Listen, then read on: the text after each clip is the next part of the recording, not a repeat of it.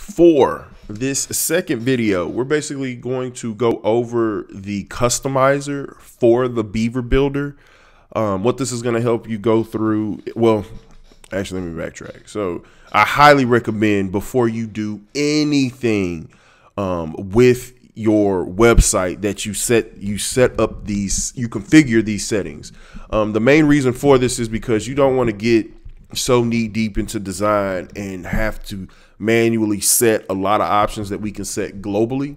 And a lot of people don't think that this is important, but I have to stress it. It is very important. It makes you, well, it is important, but I really stress it because it'll make your life a whole lot easier as you continue to design and lay out your website. So, how do you get to the customizer? So, when you log into the back end of your WordPress install, um, you'll hover over here to appearance and click on customizer. This then brings up the customizer. And what you'll notice is that you can see that we have the active theme set. Beaver Builder child theme is active. Once again, from our previous video, we really recommend you to have a child theme active. And then you can basically see the homepage of your website. So um, what we're going to do is go through all of these options here and um, walk you through and give explanation for everything. So if you hover over presets and click on it, you can see that the, the this what you're seeing here is the default preset. So the um, the way that the the name of the website's listed here, the menu, the um, icon over here, the way everything is laid out, this here is a preset. I'm not gonna lie. I leave this the same because as we get further into this video series, I'm actually going to show you how to completely customize this upper area, the header and the footer, completely customized, meaning that we won't even use the customizer for this um, section. However, if you're somebody trying to get up and running quick, uh, these default settings can most definitely assist in helping you get your website up and running quicker.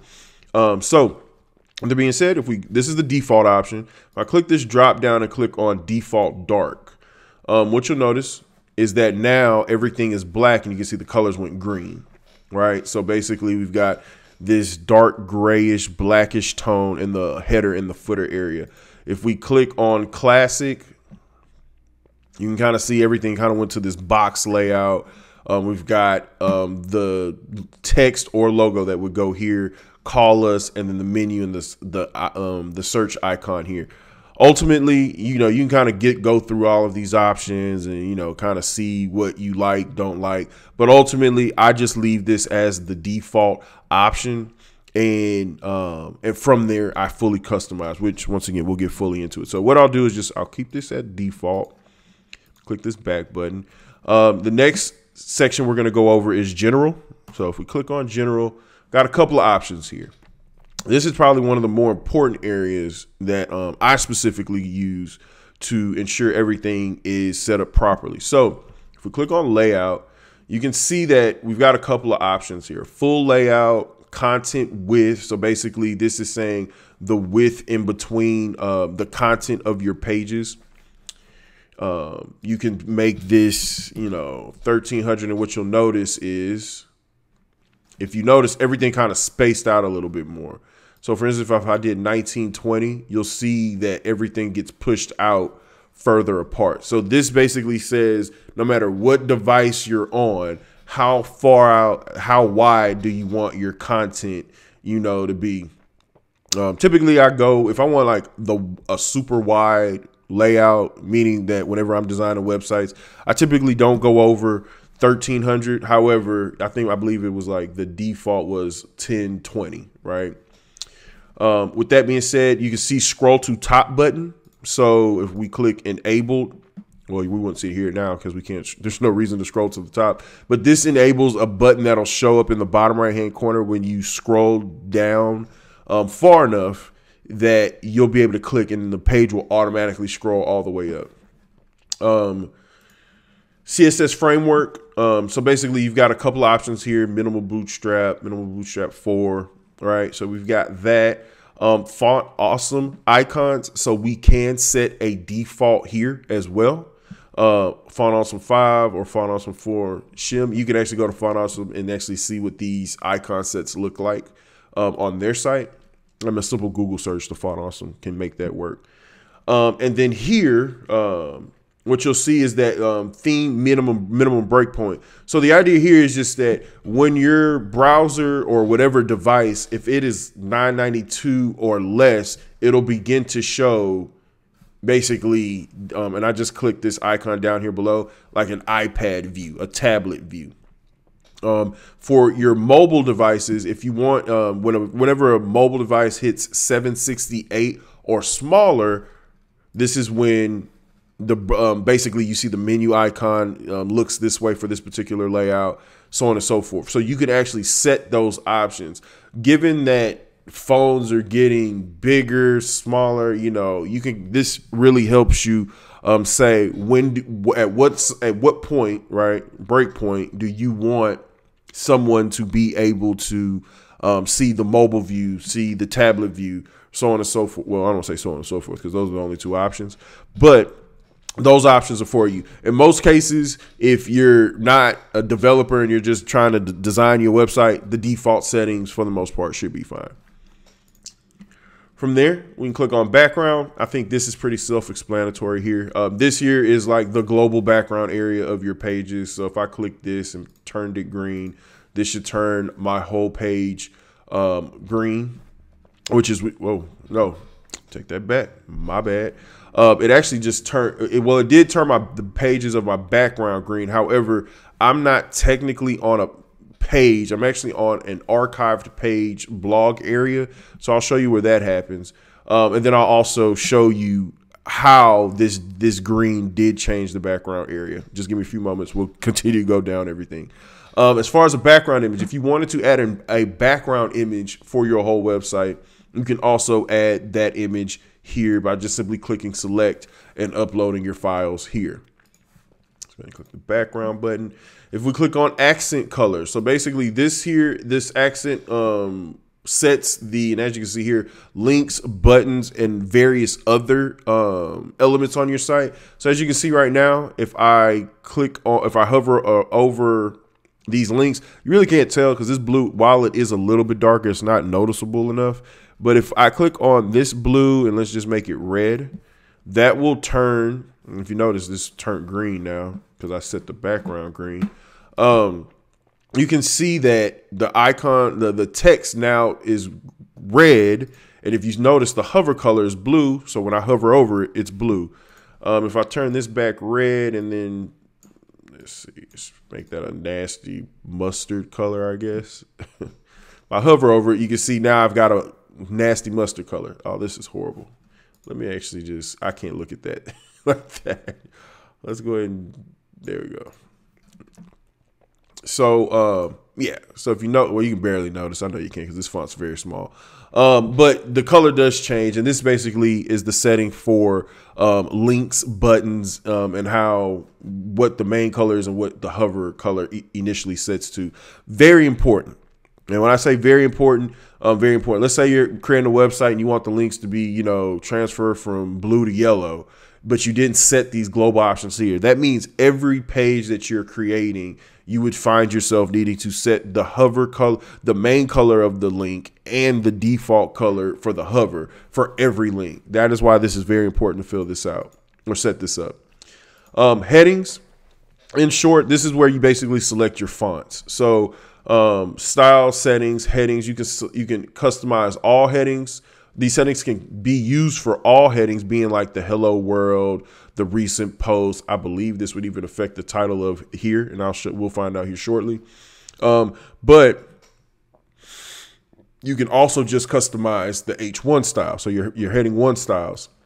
You can customize the color, select the font, the font weight, the font format, meaning you can just have it regular, capitalized, uppercase, or all lowercase. Um, and then here you can find the sizing, the line height, and the letter spacings all below. Um, so let's see. Poppins is my favorite Google fonts. And that's where all of these fonts are pulling from. If not all, most of these fonts, if most or if not all Google fonts are loaded here. So you have a wide array of fonts to take a look at. Um, and if you want to visibly see the fonts, you can just go to um, you can Google Google fonts, and the first result will be it. Um, we can change the color of these. Um, I don't know why we did that. So we can turn that purple. And what you'll notice is all of the headings turn purple. Um, font weight, let's say we want it to be ultra bold. You'll notice here, here, everything went ultra bold, right? Um, and then you can see it, if we did capitalize, um, that basically is the default. So every, the first letter in every word is capitalized. If I click on uppercase, I'm not sure why it's not uppercasing lowercase. Well, I'm saying know what's going on with that. I don't want to click publish because I'm not going to save these options. But nevertheless, it should, unless it was it's overwritten somewhere. The idea is just that you can um let's see, capitalize. Let's turn that to 30. Well, not certain why it's not happening. Well, the font format, I, I guess at some point in time I can look into this and probably leave an explanation in the video description to see what actually happened here. But nevertheless, this should um, say uh, configure whether it just uh, regular means however you typed it out. That's exactly how it's going to show up. Um, if we click on capitalize, that should capitalize all of the letters in your, uh, I mean, um, capitalize the first word letter in each um, um, word. If we do uppercase, that should make all um, letters uppercase. And then if we did lowercase, that should make all letters lowercase, meaning that you don't have to, if you want everything capitalized, you don't have to click the caps lock key every time. Basically, and when you type it out by default, it'll it'll um, capitalize everything. From there, we can go to text. Basically, the same exact thing. Um, you can select your your font, select your color, and then also select your font weight. I'm just making it bold just so that you can see it. So you notice it's bold. This is very, very bad. Select your font size, right? um, and then even your line height. And if you don't know what line height is, that's basically the space in between each individual line of text. So for instance, this is 1.45. Let's do 1.7. Or no, let's just drag the thing. So if you notice, everything is spacing out more, right?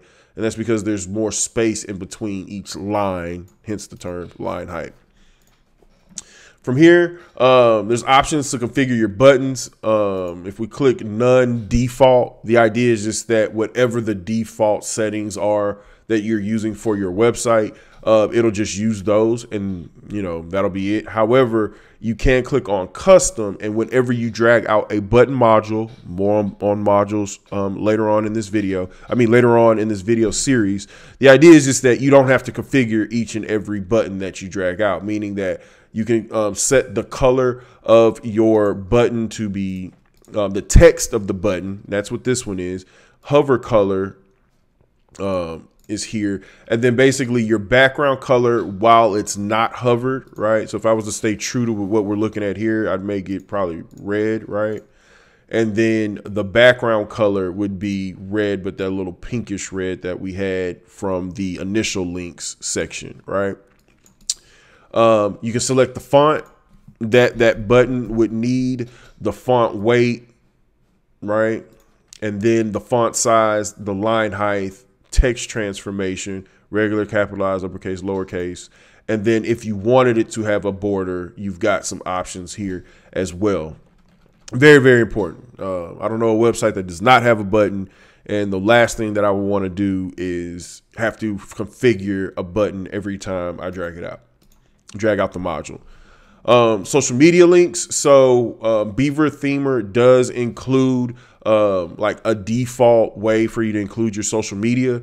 Um, and you can just basically paste in your URL for all of the provided um, social media links here. And you've got three options here. You can do custom here where you can customize the way your social media links show up here. You can use the monochrome option, which is the default, or you can use basically the branded option um, here. Let's see if this actually shows up anywhere considering we do not have, yeah, I don't have it active on this site as of yet. Um, but nevertheless, these are your social this is your social link section that you can add on your site and do keep in mind i will be later on in this video going over or in this video series going over how to fully customize so if you're going to fully customize a header in your footer um, the idea is just that you really wouldn't need to worry about this social links because you'll be able to put these anywhere in the header or footer um, from there we've got the header so all of these options here basically go over how this header can be configured. So um, top bar layout. So as you can notice, there's no top bar. This is the header, but on some sites you've probably noticed that sometimes there's like this little small bar at the top that is like social media icons, phone numbers, so on, emails, contact us information um, in the very top. That's what this option is. So if we click on top bar layout, click this drop down, click on one column, for instance, you'll notice this very fine line right here, and you'll notice this is the top bar area.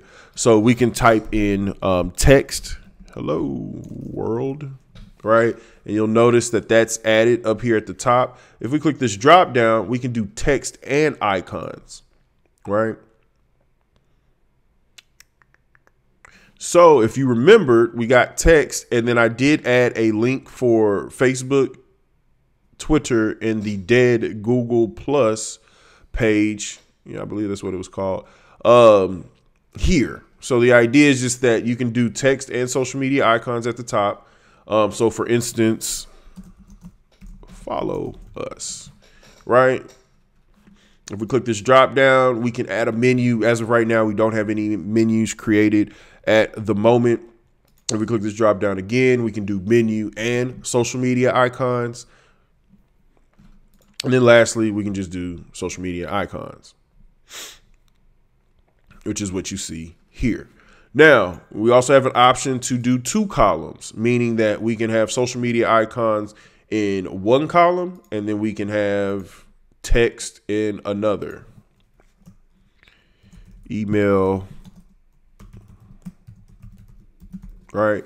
So easily, right, we've got your icons to the left, email to the right. And as you can see, it automatically responds accordingly. No coded needed, no customizations needed. This is actually built in directly to the Beaver Builder theme. Um, and then if you don't want anything, you can just click on none, right? Or keep it at none.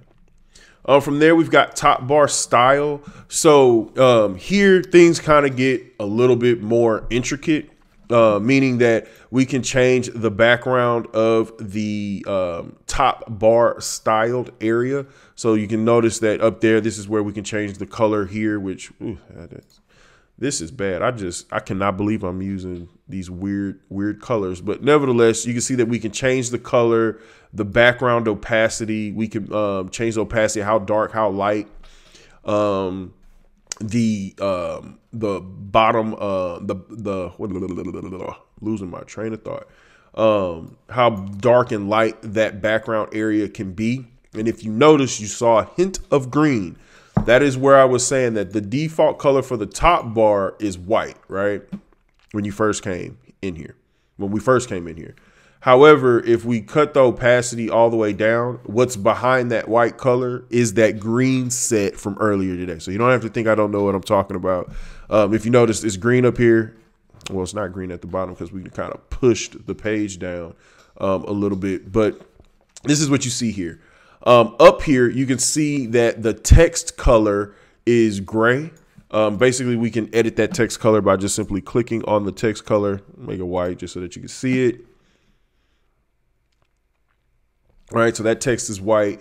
And then also, if we would have added a menu, we can change the colors of the text for that menu, meaning that where it says link color, right? If it, let's say it was green, we would have made it green and probably, you know, made it hopefully not this red hover color, but the menus, the whatever menu that would have been up here at the top, that that would have been linked. Those would have been links, and we this is how we would have um, basically, uh, um, what am I trying to say? Um, tailored the colors of what needed to happen up here in this top bar for that styling.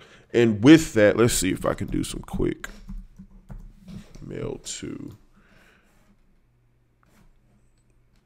Yeah. Oh, well, no. I don't feel like doing any HTML right now. But for instance, if this was a link, if we would have turned this into a link, um, this here, if we would have hovered over it, um, the this text here would have took taken the style of what we have here as well. Let's go ahead and click back. The header layout. So if you take a look at everything, navigation to the right, um, fixed header, fade in. So these are some options basically on how we can maneuver the heading um, of the site. So if you notice nav centered, so the logo is now, or the, the logo or the name of the website is now centered. This is where the menu is. And then we've got the search icon over here to the right. Uh, if we did nav vertical left, basically what you'll see here is everything is now pushed over to the left and all of the content of the website is now to the right. Um, if we did nav bottom, the idea here is that what you'll notice here is that now the navigation is at the bottom, but it did also include content layout over here to the left. So we've got the logo, we've got call us now, and then we've got our social media icons, our branded social media icons over here to the right. So if you wanted to change this text here, you can see that that text can be changed here. And you can see once again, the content layout says text and social icons. We can just do social icons text, or we can simply do none. Um, so that's the header layout options. Uh, from there, if we go to header layout styles, um, the idea is that once again, this is now the header. So if, once again, if we were to make this green, right? The header area is now green. If we made the opacity lower, you'll notice that once again, it's still green because once again, behind all of this white is actually the green color um, and then the text itself. So this is a link. So we would make that white. So this text will now turn white. And then obviously the hover cover is blue. So that's what you see blue. And then if we just had, um, like, for instance, that text over here to the right that said call us, if we were to make that white, that text would have turned white as well.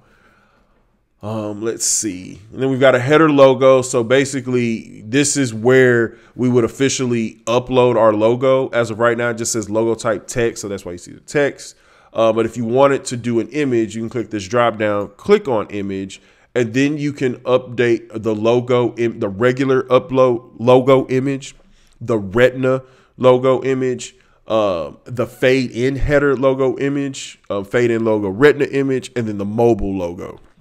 Um, if you don't know what Retina and all this other stuff is, ultimately you'll find yourself just making sure that you want to upload an image, the regular image, and then for the mobile. Um, some logos that are load that look a certain way on um, desktop may be big or may suit to be placed in a left area of the site. However, if you find yourself not liking the way that that logo looks on mobile, maybe you have a mobile version of your logo and you can basically upload this, meaning that if the logo is going to sit here, you might have a different version of your logo that you'll want to use on mobile view versus what will sit up here in the upper left hand corner or the center of the site, so on and so forth. Um, from there, navigation layout. Um, while I do, we do not have a navigation setup, but th these option sets here basically um, set up how your navigation works. Meaning that um, nav search icon. If we click the drop down and click disable, I hope we all understand that this means that we just disabled the search icon here responsive nav toggle so you can use a menu button or a hamburger icon. If you noticed well we didn't notice because we don't have a icon. If you say menu button that's just going to leave a menu text for people to click on. However um, on most sites that i've seen the idea is that if you notice when you look on a website on mobile view um, a matter of fact we can play around with that. So you can see that this is menu right? If we click this button and click on hamburger icon what you'll notice is, is that now we get these three bars. This is the hamburger icon. And if you did not know why this is called a hamburger icon, doesn't look like a hamburger icon until I just told you it's a hamburger icon, right? So you've got the bread at the bottom, bread at the top, meat in the middle, right? Hamburger icon. That's why it's called that. Um, so learn something new every day, right? Um, so with that being said, that's the the responsive navigation toggle set here. The breakpoint, so you have the option to say, hey, right now, if we come to the um, tablet view, it's meant to show the full navigation. However, let's say you want it to be shown on medium and small devices. That menu option should turn into a ha hamburger icon, right? Let's say you want it to show um, on all devices, meaning that you don't want a text based navigation for your website. You want everybody to go through a hamburger icon. If we click this drop down and click on always, we're basically saying no matter what browser size they're they're looking at, there's always going to be a hamburger icon shown. Responsive layout. So basically, we can do a drop down with what you see here now. So basically, if there was you know, an actual menu already created. Uh, the drop it would show the as a drop down. We can do a fly out overlay. And if you notice, there's an additional option that says from the left. So if we click this, you notice here that we had a fly out from the left. Uh, we can do it from the right.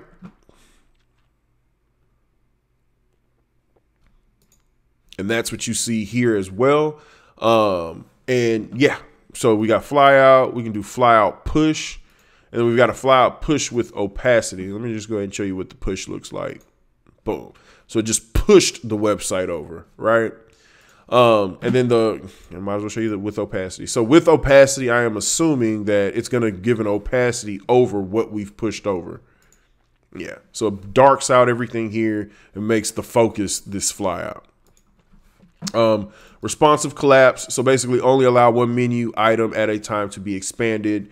You know, for the most part, that just basically means if you've got sub pages, you can hover over as many and expand as many as you want. Right now, it's set to no, but if you did want people to expand all of the the sub menus, um, you can sub navigational items, you can click on yes, and that will be true. Uh, and then lastly, we can style the navigation by uh, following these um, items here. So in your menu, if you do have a sub navigation navigation link, basically a drop down, um, you can set what um, what the indicator is. So is it a plus icon, a negative icon, whatever that indicator needs to be? That's what you can see here.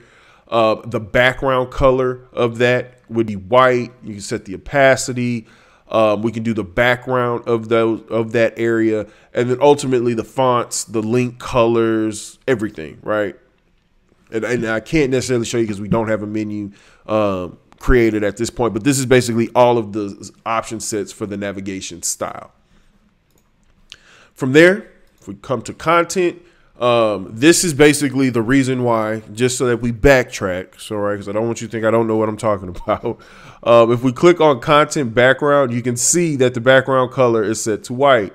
If we move that all the way down to zero, you will notice now the way you can notice everything is green now, and that is because the background, the content background area was white. So just wanted to show you that. I'm going to turn it back white here just so that we don't have to worry about going all the way back.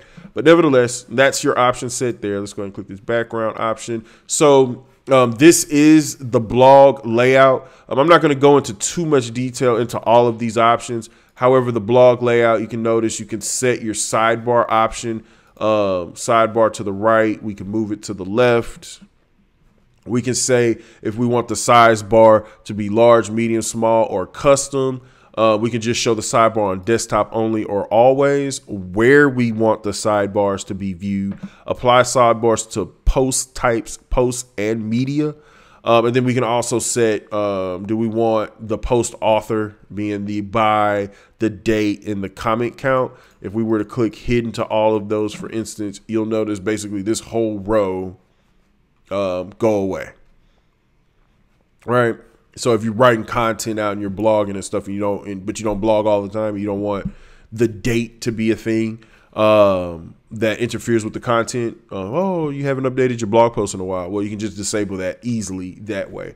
Um, we've got archive layout settings. Um, we've got post layout, which is basically if we were to click read more here, Um, this is basically the layout of the post, right? So featured image, there's no featured image added anyway. But if you did want an image, the featured image of this post to be viewed, you can do so by saying, hey, let's put it above the title, above the post, or beside the post, uh, post categories. Uh, we can have that visible or hidden. And once again, tags, the next and back and author box. We can make sure that all of those settings are on and off just by simply clicking here. One of the good things is that these this set of options has not been common um, when I was designing websites early on, WordPress websites early on, and to see that this is added, baked into the theme itself is, is awesome. There's one less plugin you have to install. Um, WooCommerce layout. So if you're selling any products, which we won't be going over through this video series, but they do have options here when it comes to WooCommerce and then Lightbox options as well. If you want people to be able to click on a photo and uh, have the image blow up and darken the background, um, that option set is available here as well. So let's go ahead and go back, back, back. Um, we've got the footer options. So this is the footer um, once again, I'm going to go over how to fully customize the header and the footer way later on in this video series. However, pretty much like the navigation system, the footer's no different, right? So footer widgets layout, um, the idea is just that where do you want your footer listed on all pages? Do you want it disabled or only on the home page? Those are the option sets there. Footer widget styles. So basically, we can control the background color of the footer. We can also, well,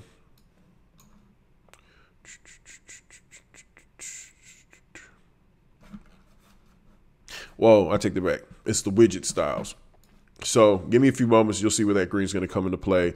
Actually, let me make this purple. I'm tired of looking at green right now. I'll show you where that's going to come into play. Um, but with that, the um, the text style down here below, text color, Let's make that blue, purple, link color, yellow, green, right? Purple, yellow, green. So once again, widget styles. We'll see. Actually, we're going to need to make that white. So I'll show you where this will come into play here shortly.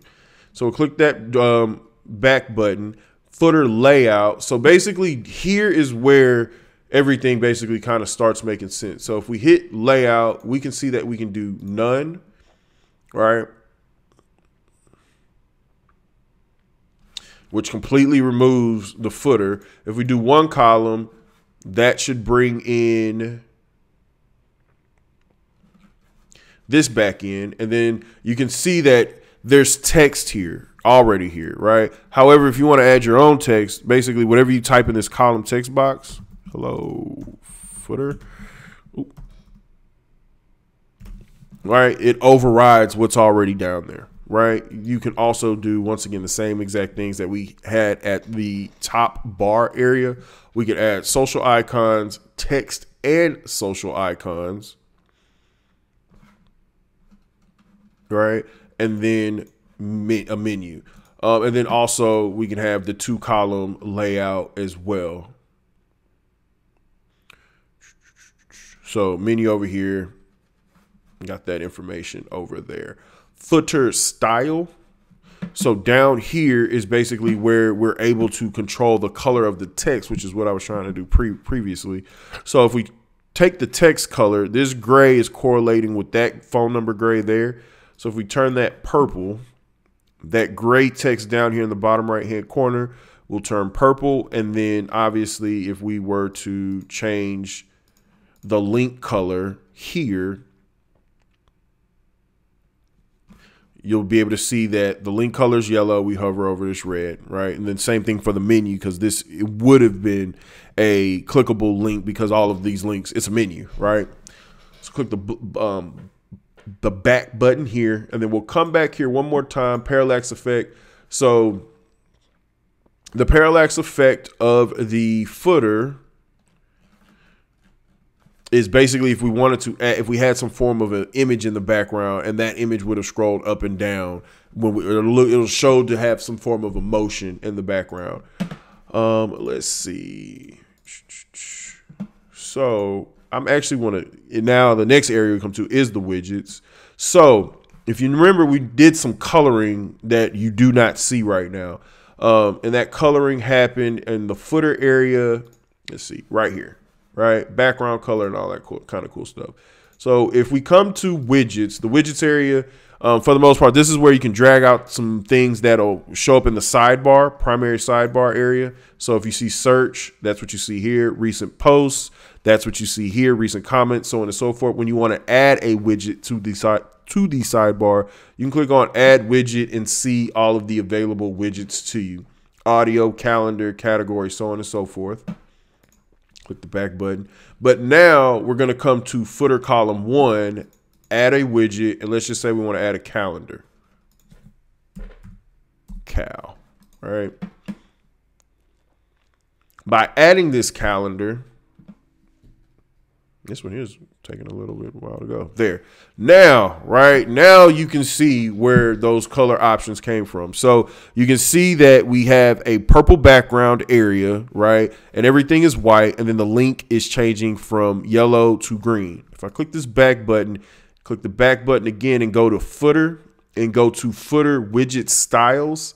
This is basically what we're looking at here. So the background color is purple We've got the text color being white. That's why all of the text is white. And then we've got a link color, which is yellow, right? And then the hover color is green. So when I hover over the yellow, it turns green. So that's how that works. Um, Beaver Builder does give you up to four columns over here. So if we come to column number two, click add widget. Let's add a gallery. Um, let's go to footer widget number three. Let's add, I don't know, an audio file. And then widget number four, let's just add a search. Let's let this do its thing and render what we have just added to our footer. So, um, I, well, obviously we wouldn't see any gallery because there's no images and also there's no audio file. But you can see that it basically made four columns. Well, you can't see that it made four columns. Let's do a better job of. Let's do recent posts. That'll work.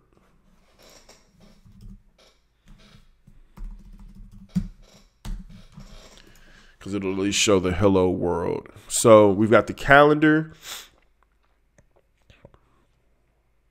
We see the recent posts and then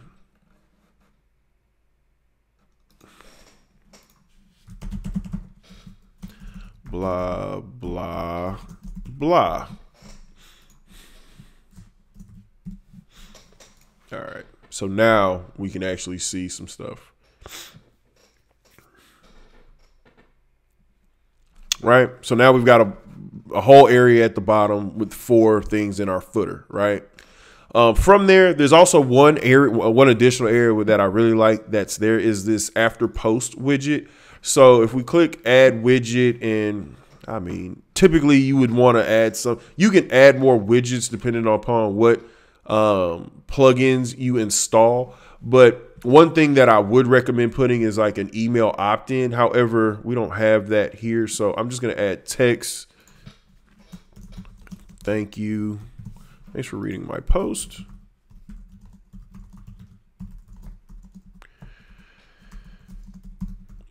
All right.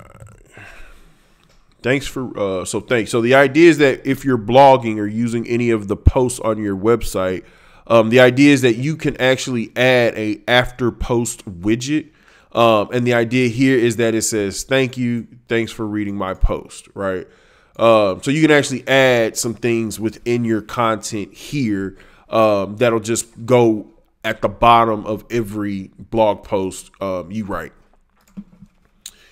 Click the back button. Um, code, probably another area that I really, really like because it keeps you from having to install more plugins.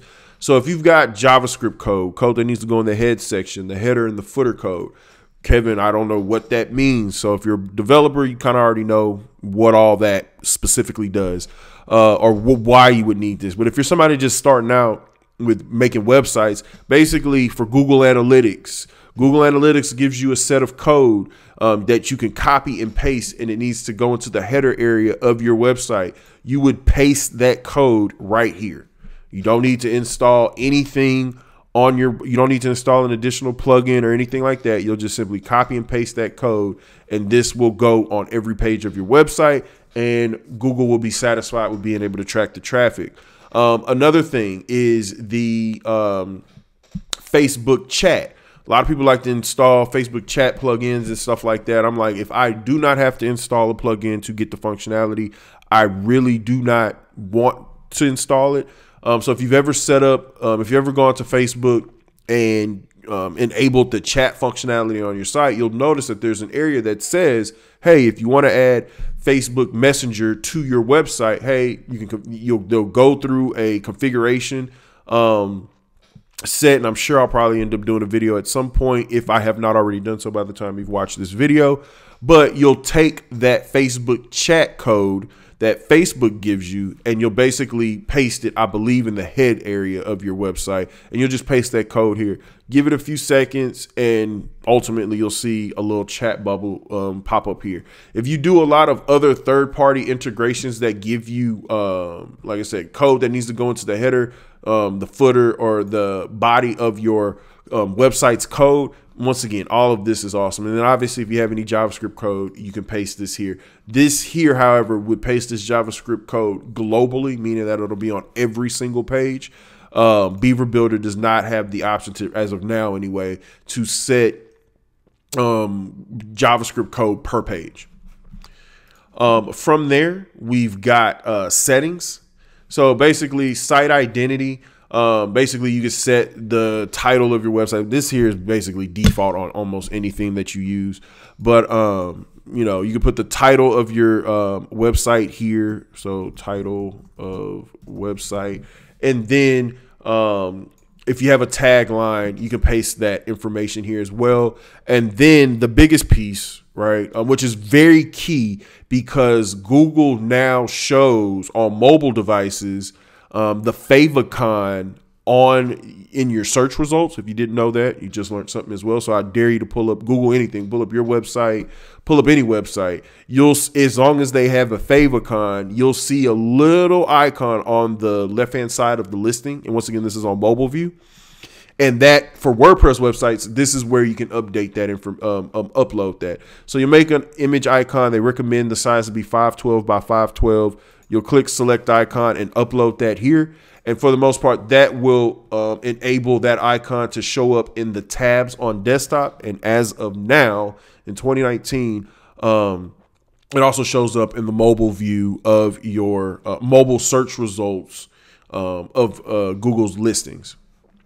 Um, homepage settings. So uh, if you're blogging, you know, your latest blog post will probably be um, an option for you to do. Um, however, if you if you actually want to use a page, um, which here you'll be able to see a lot of the stuff that we've done um, configured, right? So now you've got oh, you know, it did work. So I'm actually going to take us back, and this here. Oh, and then we can also see the parallax view. So few things. Remember, we set the parallax view for the footer. Well, if you notice the way that this is revealed, the web page is is on top of the footer. So when I scroll down, it's revealing the footer area at the bottom. So that's the parallax as well. Um, and then um, up here, I'm going to go back and show you how these headings are actually uh, are doing the uppercase, lowercase, um, regular, and default. Um, but I'll do that here momentarily. But this is how you can set your pages. And then if you did have a blog, if you had a page that you're dedicate you that, that you want dedicated to show all of your um, archived blog posts, you can click this drop down and just select that page here. Um, from there, uh, menus. This is where you create your menu. So you you just simply would create menu. You would name the menu, right? Main menu, for instance. You'll click on where you want the menu to go. I'm going to say header top area because that's where we actually have the menu anyway. Click on next, click add items. And really the only link that I can add is the sample page. And then I'm going to go ahead and click the back button. Um, from there, when I click this drop down now, um, I mean, obviously I've got the worst colors in the world, but you can see up here, it says sample page, and that's that's the item that was added to the menu. Um, and also, just for kickers, We can also say um, footer menu, click on main menu there. And as you can see, it says sample page down here below because we had a menu option down here, right? So pretty awesome settings here. Uh, from the back, uh, from there, so this is what I was meaning, um, why you should have a child theme. If you add additional CSS um, to your website, so meaning, let's say I want this text to be black for whatever reason, and and and for whatever reason, let's just say I want it to be black and I just did not want to use the customizer. And I didn't want to use Beaver Builder, which is highly unlikely because there's no reason for that.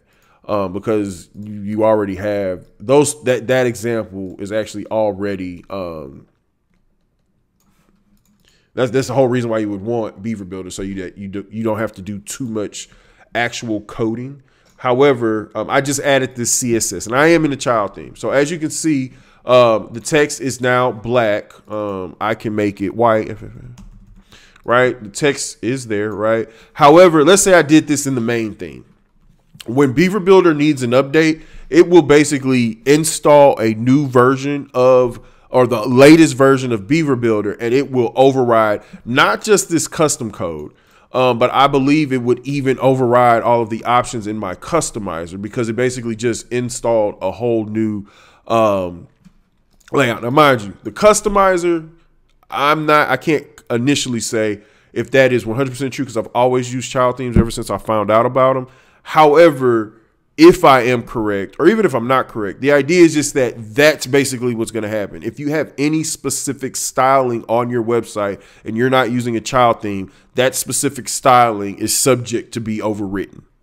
Having a child theme saves you from that.